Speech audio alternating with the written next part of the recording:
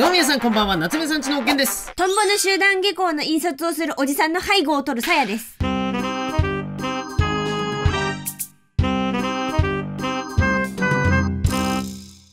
複雑だな。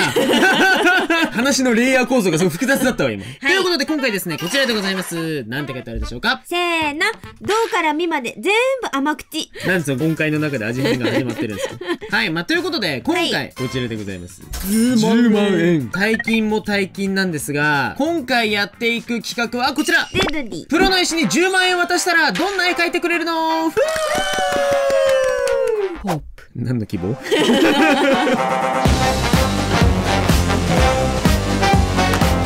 ということで、今から夏目さんちが予算10万円いただいた状態でイラストを描こうと思います。おー、はい。ちょっとここで注意喚起なんですが、あくまでも動画の企画として夏目さんちが設定した基準でお絵描きさせていただくので、他のイラストレーターさんには1ミリも適用されない作業内容、金額はいなどになりますので、この動画を引き合いに他のイラストレーターさんに交渉材料とかね、ご連絡するっていうのは絶対にしないでください。絶対にしないでください。皆さんはご依頼の時にはなるべく具体的にイラストの用途希望制作のサイズ、はい。納期あとは具体的にあればイラストのイメージなどなどをお伝えして正確にねイラストレーターさんに見積もりをしていただいた価格が、まあ、その方にとっての適正制作料金。ということになっているので、まあ、あくまでもこれは企画として皆さん今からお仕事の絵が始まるぞっていうのをお楽しみいただければと思います。そして今回は実際ご依頼いただきました、はい。ご依頼いただいたのはバンドルカードさんです。ありがとうございます。ありがとうございます。つまりこちらは、案件でございます。ありがとうございます。実は夏目さんちこの動画約2年前ご紹介させていただいたんですよ。ありがとうございます。まだあの頃はね、YouTube も白黒の時代でしたから。どんだけ昔なんだよ。ねえだろ。白黒なのに YouTube やる技術ってどうなってんの？ということでバンダルカードっていうのをね簡単に説明すると、はい。クレジットカードのように使えるチャージ式のプリペイドカードお買い物とかゲームの課金とか、はい。あとはネットフリとかのサブスク支払いとかにも使えちゃう便利なカードなんですけれども今回はそのバンドルカードさんにイラストのご依頼をいただいたというわけでありがとうございます。はい。で、テーマですよ、テーマ。バンドルカードで楽しそうにお買い物をしているオリジナルキャラクター。もしくは、バンドルカードをイメージしたはいオリジナルキャラクター。しかも、夏目さんちの自由な発想で書いて OK ですと。夏目さんちに自由を許していいんですか、練り物はありですか？なあ、え？ー で、まあ、イラストの制作、今回予算10万ということで、概要として、まあ、1キャラクターの、まあ、全身が入るような構図だろう。で、そしてフルカラー。で、サイズはだいたい A4 とかですかね。で、うんそれでデジタルの場合だと解像度が 350dpi。あとは簡単な背景とか小物類とかも書かせていただくような内容になりますね。そうですね。はい。で、こんな感じの条件で制作していきましょう。参りましょう。いうわー緊張するな。どの練り物にしようかな。やめろよ。自由にコネコネしていいとは言ってねえだろ、パンダさんは別に。っていうことで、まず一番最初にアイディア出ししていきましょう。そしてその後、ラフを数パターン作成して、この時点でクライアントさんの方に確認して、そのラフで採用されたもので仕上げていくと。で、その後は、下書きを書いたら、そこから線画を仕上げて、カラーにカラしてーにして、納品という納で、修正があったらそこで直して、はいっていうような流れで制作していきたいと思います。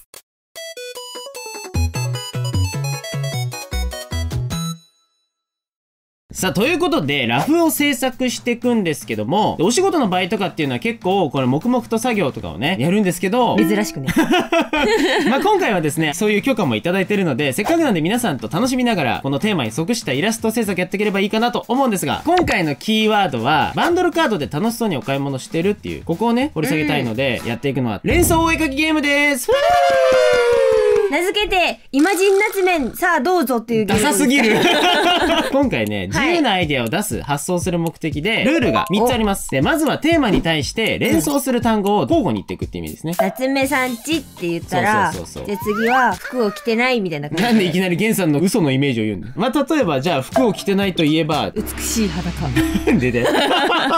芸術的なの。えちょこれ怒られる怒られる。怒られる怒られる。ちょっと待ってふざけないで。それで2それを受けてまた単語を連想して1つ言うということで最後今美しい裸裸って言ったんだけどさ、うん。で3番目がこれはまあ3つから5つぐらいでいいと思うので単語が揃ったら一旦そのイメージを絵にしてみてくださいで1個目のそしたらラフができるでしょ、うん。さっきと違う。う単語を連想して、これを繰り返してって、今回はじゃあね、3つラフ作ろうかなと思います。はい注意なんですが、これ自由な発想を出したいゲームなので、相手が出した単語は、いや、それはお前絶対ないでしょって。言っちゃダメ。夏目さんちといえば、服を着てない。そう、だからゲイさんは、あの、確かに服着てない時もあるよなって。思わなきゃいけない。思って次、うーんっつって、ひねり出してください、2つ目。はいということで、まずは第1回戦目。まずは、お買い物というワードからいきます。せーの、イマジンナチュはい、どうぞ。お買い物楽しい。楽しいね。いやでも楽しいといえばゲームかな。ゲームといえば、はい。イマジン夏麺はいどうぞ。インターネット。インターネットといえば、オンラインショッピング。こんなもんにしとくそれでもう一個言っとくじゃあささやさん最後にうん。出した連想で一回戦目やってみましょうか。オッケー。じゃあ一気に世界広げていくわ。あ、そういう感じ？オンラインショッピング。世界のどこからでも届くでけえだろ、テーマが飛躍しすぎだろ、ここから。ブラジルのものでも日本に届くともうでけえもうここから行くともうだってあともう一つしかないもんねウッデューですね一回戦目からひどすぎるんだけど。バンドのカードは宇宙だったねでかいよ。第1回戦目。10分間でここのイメージを書き出してみましょう。一応1万円にするようなイメージ。はい自由にやってみましょう。よーい。強いな。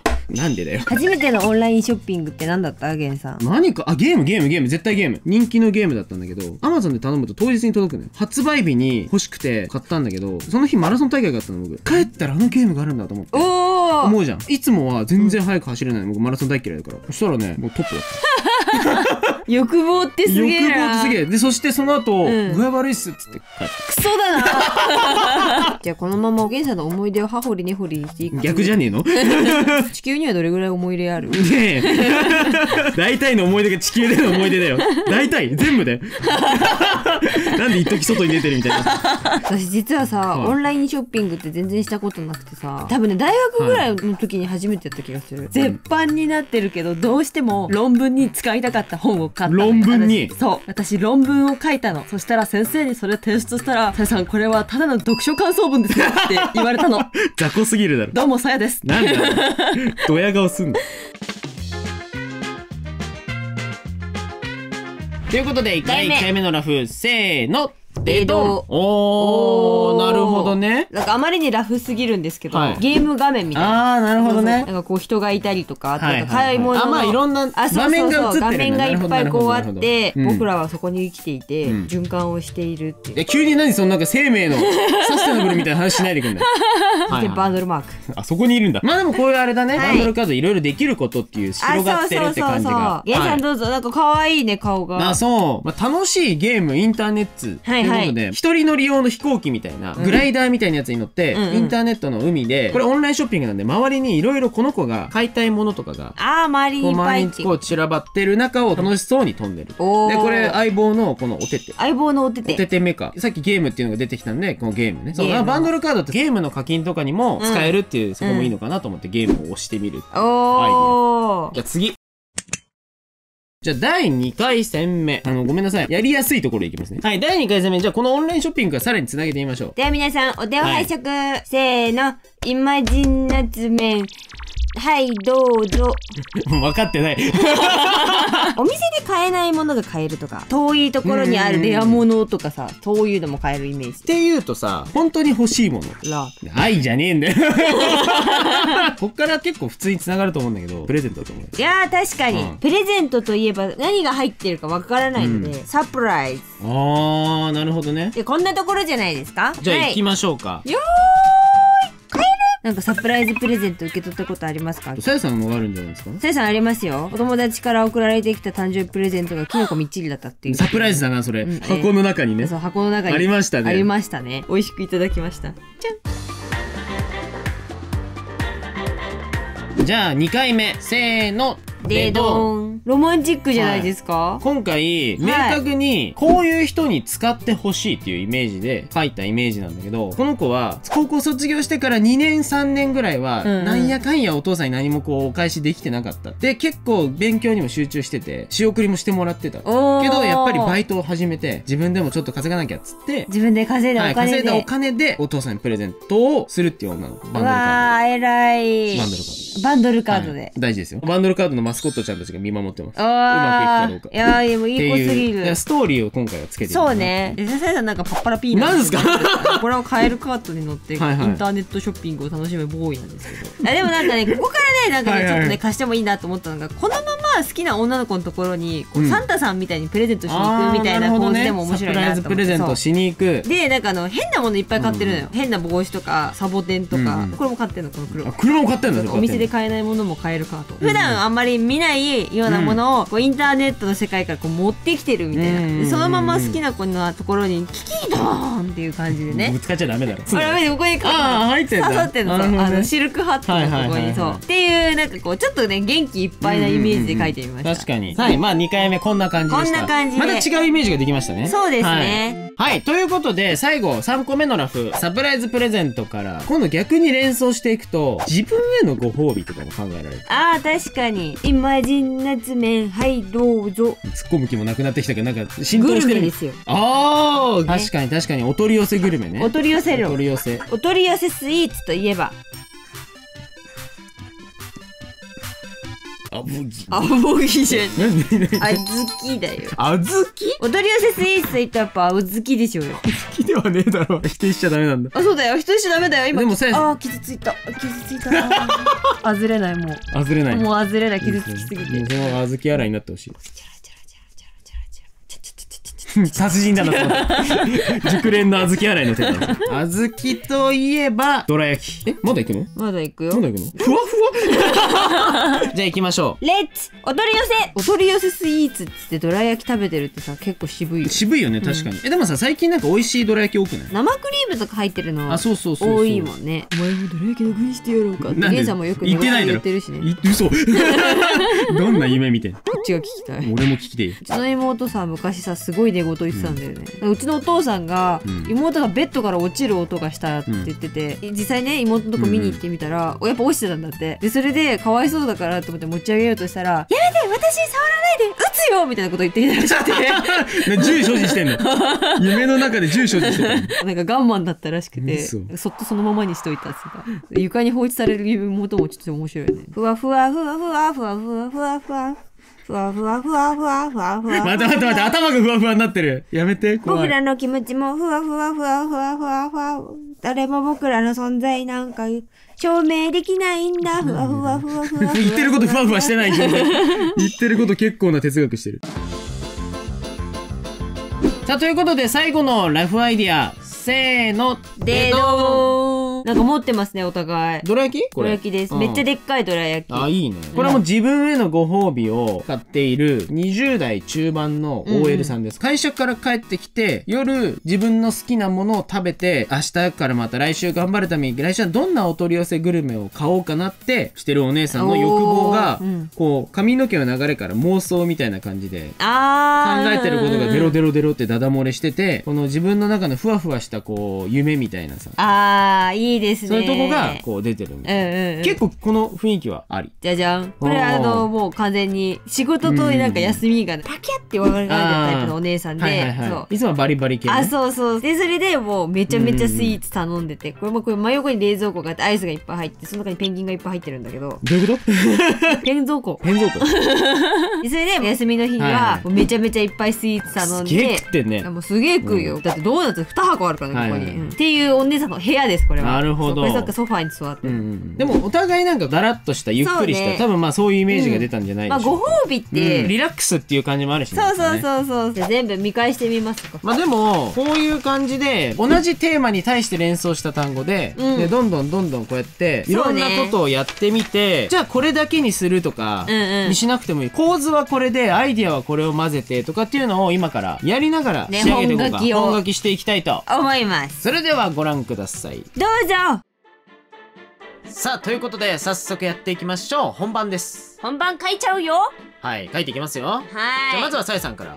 イエスいやもう今回はね、はい。もうあのー、2回戦目かな？はい。に書いたそうだね。はいあの車に乗って、はい。あの世界のいろんなところからね、こうインターネットの力を使って彼女にプレゼントを持ってきたよみたいな感じの男の子にしてみました。書いてますね。はい。これそしてにこやかですね。いやにこやかでも輝くばかりのバンドルカードをこう高らかにね、はいはいはいやめてください。パジャマ着てるのやめてください。バレバレですね。パジャマで書いてるパジャマで書いてましたね。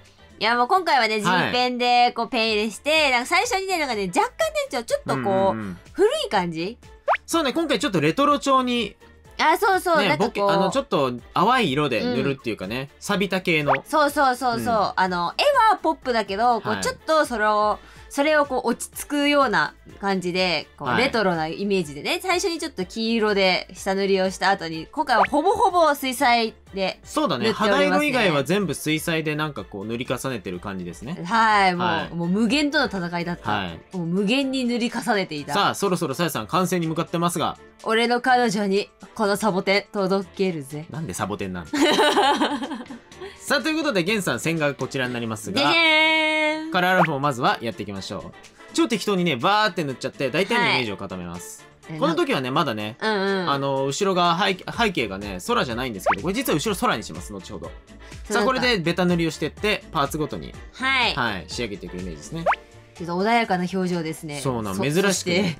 そそそして、あこれ顎犬顎犬。ああ顎彼女がお気に入りの顎犬さんです。顎犬さんなんでですね。す、うん、あの、ダイヤモンドも噛み砕くと言われている顎犬さん。強いな顎怖っ バキャ さあ髪の毛実はこれ線をね鉛筆のペンでさっさっさって入れてーます、近くで見ると細い線がいっぱい入ってるよね。そうなんです顎犬にも入ってます キモいよ。キモいさあ服よ。を塗っていってざっくりとね、この影の色もただオレンジじゃなくて、ちょっとね、水色がはい、入ってる、水色とか。紫とかを入れてます出た。なめちゃんでしょ、はいあれ、なめちゃんなんでしょあの今ウサギ女の子が撮ってるウサギはねナメクジなんです、実は。ナメクジウサギちゃんなんです。結構不思議な生き物がはい、珍しくね。蔓延してますね。完成！お疲れ様です。お疲れ様です。はい、もうあっという間に完成しちゃったんですけどね。ねはい、これね、ちょっとね、細かく解説とかまた夏目さんちの落書き部屋お絵かきサブチャンネルで出そうかなと思ってるので、はい、ぜひぜひチェックお願いします。ゲンさんの変な生き物の描き方っていうやつが、ね。はい、そんなもん出ねえわ。今回このピアノの錆びた感じとか結構聞いてますね。ああいいね、うん、でででででででいろいろ姿勢を感じるイラストにしまそうね、はい、後ろの雲が気になってしゃあねえわ。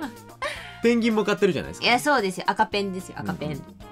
さあということで、はい。今回こちらでねバンドルさん書かせていただいたんですがこの後1万円分でしっかりネットショッピングしていきたいと思います。1万です。いくよ。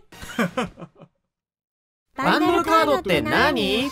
バンドルカードはビザが提供している速攻で作れるカード。カードって言ってもアプリだからダウンロードして1分で登録完了。アプリでチャージをしたらクレカみたいにネットショッピングやゲームの課金とかにすぐ使えるんだって。どうしても急ぎで支払いが。そんな時はポチッとチャージで後払いチャージ。クレカと違ってあらかじめ使いたいお金を決めてチャージするから使いすぎる心配もないしアプリで利用明細も簡単に見れるからぼんやりしたさやみたいな人でも安心だね。あもちろんチャージした分の金額は次の月までにちゃんと支払ってね。というわけで今からバンドルカードで1万円分好き放題お買い物しちゃいます。夏目さんちの欲望を最後までお見逃しなく。はい、ということで皆さん今のね、はい、スーパーハイテンポな映像で分かったと思うんですけど、バンドルカードこちらでございます。でどん。はい、これがアプリのもう画面です。こちら、誰でも1分でアプリから作れるビザプリカということで、アプリのストアからスマホでインストールして、はいで登録ももうこれ終わってるんだけど、皆さんも登録ね、画面の通りしていただくだけで、それでもうすぐ終わり。で、夏目さんちも何で持ってるかっていうと、もう2年前に案件でね、やらせていただいたので、もうすでに登録してあるやつがあるわけです。でも残高0円ですよ。そうなんです0円以下のものを探しに行くってことですか？プライスレスみたいなもの探しに行く旅じゃねえんだ別に君の笑顔みたいな。いらねえよ見た目ってクレジットカードみたいでしょ？だけどクレジットカードではないんですよでもクレカがないと登録できないサービスに登録できるんです、これねおー。クレカみたいに使えるけどチャージ式なので使いすぎが防げるっていうことですね。はい、うんうんうんだからまあネットショッピングとかでほら代引き手数料とかがあるじゃない。あー、そうね。そういうのをやらないでチャージすればなしでできち引きゃうと落とせちゃうと。はいここでバンドルカードでの支払いというふうにできるわけです。おー、スムーズですね。はい、なので今回ですね買い物皆さんにお見せしたいなと思います。嘘、お買い物していいんいいですか？よだって今回バンドルさんにほらイラストでご依頼いただいたんで。いやー、絵描いてよかった。嬉しい。現金だな。さあ簡単にチャージできますよ。もうチャージボタンをポチッと押します、い、ろいろなチャージの方法があるんですけれども今回は夏目さんちょっと今クレジットカードからチャージしますねはい。もちろんそのコンビニでチャージしたりするっていうのがおそらく皆さん使い方としては一般的な使い方なのではないかなと思うんですがこちら1000円単位でチャージができるので今回は1万円分買い物したいなと。さあチャージしましょう、はい。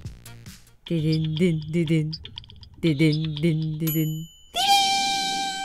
こちらですチャージ完了しましたあ、かわいい。はい、この子可愛いんですよ。バンドル、バンドルのマスコットキャラクター。はい、残高1万円、チャージが完了しました。おー。じゃあこれで1もうこちらで万円分おはい買い物できちゃうというそうです、わけですね。そうです。買い物ができちゃいます。おー。おこの明細のタブを見ると本当だ。4月16日なんですけれどもこちらクレジットカードから1万円チャージしました。もうすぐ出ます。おもう明細が。だから明細がすごい分かりやすく出るので、はい。使いすぎの心配もないということでそうね。いつどこで使っちゃったかっていうのがわかるね。分かっちゃうわけです。じゃあ早速買い物していきましょう。セバスチャンブーブーを出しなさい。どこ行くの？ネットだっつってんだろじゃじゃーん。アマゾン来ちゃいましたけどどうする？えー、何買う？もうさやさんにお任せしようかと思いつつも。うそよいしょっと。チーズケーキ？えー、どれうわめにしよう。マジ高いやんけ。めっちゃ美味しそう。めちゃくちゃいいやつ急に頼もうとするじゃん。終わっちゃうじゃん半分ぐらい。よしじゃあ半分終わらすか。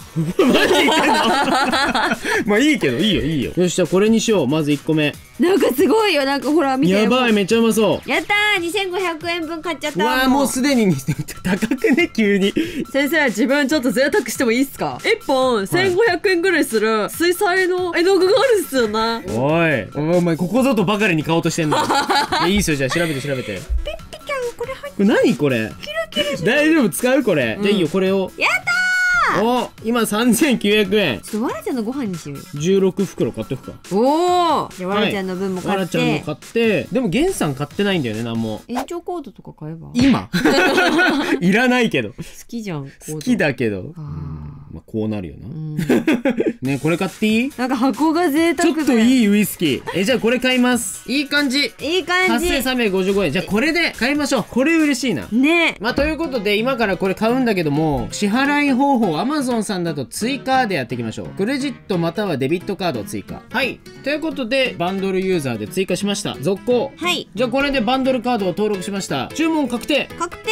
やったはいということで注文が確定しました。じゃあちょっとこれアプリの方見てみましょうか。はい。ということでさっき Amazon で購入してちょっとまだ全部ね処理が終わってないと思うんだけどチーズケーキね真っ先にチーズケーキがあの決済が終わってるんでしょうね、はい。これは。い、この後ちゃんと反映されると思うんですがはい。でもう一個サブスクですね。さあこちら Netflix 皆さん契約したいって時ねバンドルカード使えばクレジットカードがなくてもカードへのチャージで毎月のこのサブスク系のお支払いができるということで早速やってみたいと思います。はい。こちら。登録中な登録中です。とりあえずベーシックでねね。試しに登録してみましょう。続ける。はい。でこちらのお支払い方法設定。ここに先ほどのバンドルカード設定していきましょう。はい。でこれでバンドルカードの情報を入れました今。こちらにバンドルカードの情報を入れているので、うん。メンバーシップを開始。開始。ドッキンおおこれで始まりましへようこたそ。バンドルカード使ってこうやってネットフリックスの登録もできる。これでやったら石折れスプーン小太郎が見れるよどこにあんの？それネットフリックスオリジナルにあるんだ。うんある。嘘ご乱心すぎるでし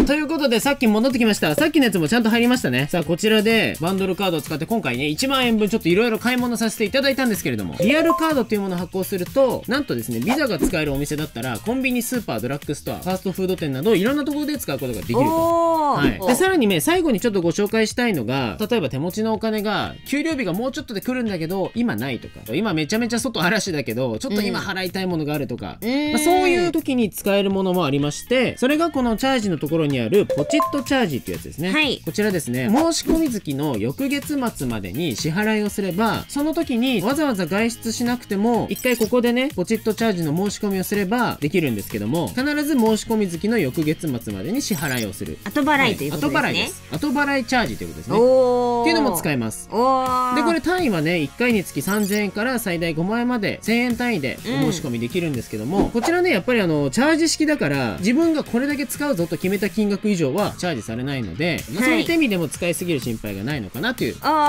もメリットですね。そうだね、はい。じゃあどうでした？さやさんはこのバンドルカードい、やーチーズケーキが楽しみですね。そこにしかとこしかないんだ今思い出。よだれしまってください。やめなさいよ汚いの。ベロリ。ということで皆さんもしよかったらバンドルカードはい。概要欄からチェックしてみてください、そしてへし折れスプーン小太郎もぜひ見てみてください。ないんだよ。だからネットフリにはそんなの。えー、ないんですか？ないよ。それどんな話なの？あのスプーン小太郎がフォークの子育てをする話です、フォークなんだ。しかも。ほっこり。やっぱそれは種族間の愛があるわけだ。そうそうそうそう。打ち切りで